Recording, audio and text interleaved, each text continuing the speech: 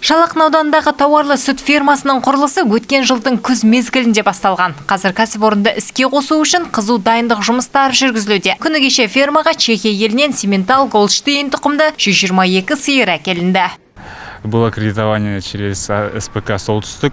Солтүстік әлеуметтік кәсіпкерлік корпорациясы арқылы 400 миллион теңге несие алдық. Бір сиырдың құны 2500 евро. Негізі 400 сиыр алуды жоспарлағанбыз. Бірақ енді біз оны мыңға дейін көбейтуді мақсат етіп отырмыз. Солтүстік Қазақстан облысы сүт өндіруден республика бойынша алдыңғы орында келеді. Өңірде соңғы 5 жылда 30 сүт фермасы іске қосылған. Барлық жобалар мемлекеттің қолдауымен жүзеге асырылып отыр. Мәселен, 2021-2022 жылдары 35 миллиард теңге инвестиция құйылды. Биыл тағы 17 миллиард теңге бөлу жоспарланған. За последние пять лет э, в регион к нам импорти- импортировано более 16 тысяч Соңғы 5 жылда облысқа 16 мыңнан астам ірі қара әкелінсе, оның 13 мыңы сүтті бағытта. Сондай-ақ биыл 15 тараулы сүт фермасының құрылысы жүргізілуде. Оның 9-ын биыл іске қоспақпыз.